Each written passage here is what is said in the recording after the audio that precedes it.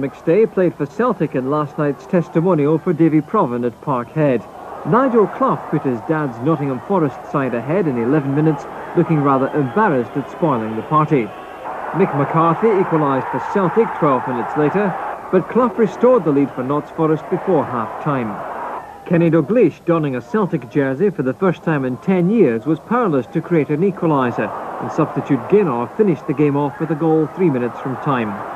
But the benefactor was Davie Provan, whose contribution to the game was rewarded with a rapturous ovation from the 42,000 crowd and a paycheck of £100,000.